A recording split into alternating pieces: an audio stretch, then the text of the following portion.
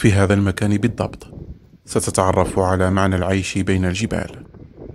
فالأجراف والصخور هنا لها عظمة باذخة نحن اليوم في زيارة لقرية تاريخية وسط القمم الكلسية لسلسلة جبال الريف الغربي. إنها تغزوت.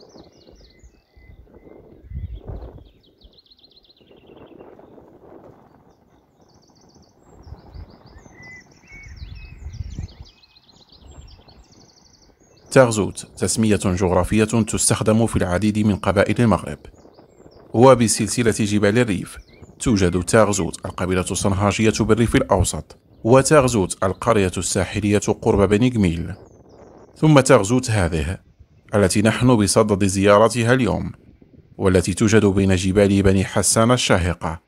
القرية التي كانت في إحدى الفترات ذات شأن سياسي كبير ببلاد جبالة كانت هناك صخور بيضاء ضخمة في المرتفع وينحدر من تحتها شلال هادر تتساقط مياهه نحو قعور سحيقة غاية في الجمال إنه فج تغزوت على قمة الجبل الموجود خلف هذا الفج توجد قرية تغزوت كان هذا مقتطفا من رحلة الصحفي فينسنت شين إلى قرية تغزوت خلال عام 1925 وقد خصص لهذه الزيارة جزءا مهما من كتابه أمريكي بين الريفيين.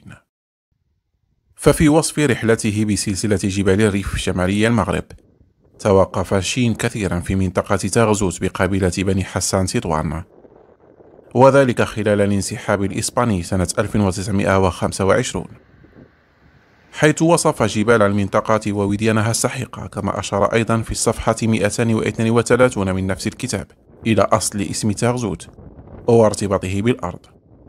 ويقصد به مكان دماء وزرع ويصادف في الغالب جنبات الوديان.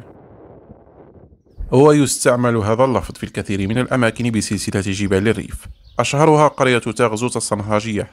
أشهرها قرية تاغزوت صنهاج سراير ويشير الكاتب لأصل سكان قرية تاغزوت هذه مستعينا بشهادة كارلتون كون.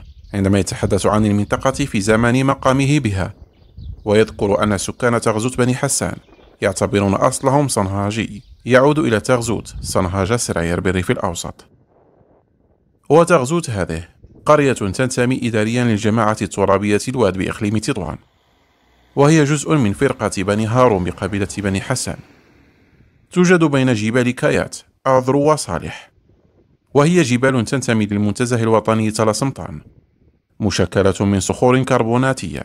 يكسوها غطاء نباتي كثيف عبارة عن أشجار العرعار الصنوبر والبلوط القرمزي. ويمكن الوصول إلى قرية تاغزوت انطلاقا من مدن تطوان وشفشاون عبر نفس الطريق المتجهة لمنتزه أقشور. إذ لا يفصل القرية عن أقشور سوى بضع كيلومترات وهي قرية سياحية بها بعض مرافق الاستقبال والضيافة حيث تشكل نقطة انطلاقة للعديد من المسارات السياحية الجبلية. سواء في اتجاه مرتفعات شفشاون أو مرتفعات تطوان.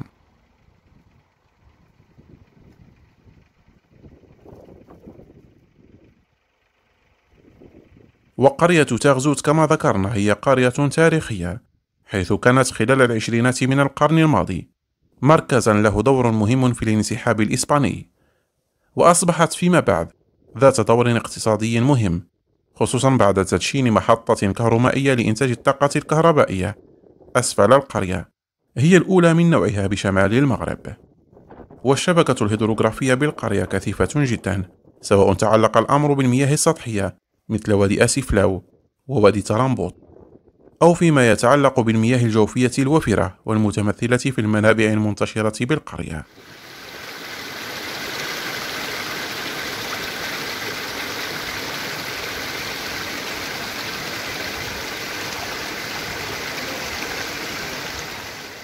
ومن آثار المعمار القديم بقرية تغزوت الحسانية المكان المعروف بالخلوة أو كما يعرف محليا بالسيد وهو المعروف باسم ضريح عيسى التراري حيث توجد وسطه بناية يظهر من معمارها العراقة والقدم. كما أن معظم منازلها قديمة جدا بدأ بعض أصحابها يجددونها لمنازل عصرية خصوصا وأن القرية توجد على محور طرقي مهم يربط مدن الشمال المغربي. بمنتزهاته الطبيعية الموجودة بتلاسنطان قبل أن ننهي حلقتنا هذه التي خصصناها لقرية جميلة جدا بسلسلة جبال الريف الغربي. نترككم الآن تستمتعون ببعض من جمال الطبيعة بهذه المنطقة. على أمل لقياكم في الحلقة القادمة لا تنسوا مشاركة هذه الحلقة مع أصدقائكم ومشاركتنا أيضا آراءكم واقتراحاتكم في التعليقات.